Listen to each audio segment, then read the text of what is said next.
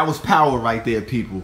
Your boy Sloppy Wilder got power. I'm talking about KO power. I'm talking about all type of power. I'm talking about Alabama Tallahassee power, man. Good Lord, man. He put Breazeale on his ass. Jesus. We got to see the Anthony Joshua, man. We got to see the Dillians, man. We got to see the Ortizes, man. I'm going to give it to the champ tonight, man. Listen, y'all know how I am about the Sloppy, man. But I'm going to tell you, man, his power is real. Ain't nothing like it, man. Good God, he did his thing, man. Listen, people, we got to see this guy in the ring with somebody tough, someone rough, someone that's going to be able to deal with the power, deal with the head, that, you know, the speed and agility of this cocksucker, man. I mean, we got to find somebody that's going to be able to, you know, exploit some of his weaknesses, some of his flaws, man.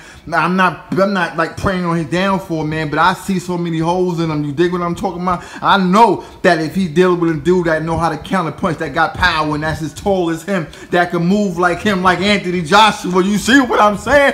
But it is what it is. You know, he did his thing. Let's not spoil, let's not pour milk on a dude from Alabama. You dig? He did what he had to do. So right now he's saying, you know, he want that work with Anthony Joshua. He want that work with uh I think he's gonna have a fight with uh Ortiz. That's coming down the pipe, man. You dig? But damn, that knockout was crazy, people. It was crazy, man. Listen, all I got to say is uh he deserved everything, you know, that uh is coming to him because you know, with a sloppy style like this, and a guy that just don't do anything conventional, able to use that big power and knock out dudes that been doing this the right way for all their life. We got to give him props for that. See, you LDBC cocksucker, see, I'm giving your boy credit, but I give it to him the right way. This is the reason why we got to credit Deontay Sloppy because his sloppy style, his, you know, unconventional style allows him to get in the ring and use one thing in power.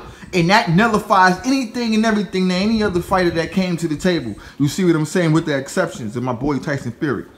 And he put them out, man. This was lights out, man. You feel me? I mean, he sent the message to these dudes out there, man. He sent a strong message to the, to my boy Anthony Joshua. Listen, Playboy, what's really going on with you, huh? You really want that work? Are you sure you want that work, huh? Cause one of these things, but you already know Anthony Joshua was a different, different, different animal, man. You know Breazeale, Anthony Joshua, he already washed him out easy early. I mean, it took him seven rounds, but you know Anthony Joshua like to play around a lot. He like to jab and go to the body, and it's the reason why Anthony Joshua was the truth because he went to the he went in the trenches with guys. He didn't just knock out guys. He dealt with you know the adversity. You dig? That's why he's the toughest and the best that ever did it and got away with it. And we taking over. He taking over America, man, single handedly. But at the end of the day, man, holla at your boy. We coming back post fight. we gonna talk about this whole thing, man, because I got some things that I want to talk to you guys about when it come down to Sloppy Wilder and his next opponent, man. Some breaking news and things like that. Rock with your boy. yeah. New media, new perspective. This is what new media look like. This is what new media look like. All about casual boxing talk. Just when you thought you had to figure new media, new perspective, casual boxing talk.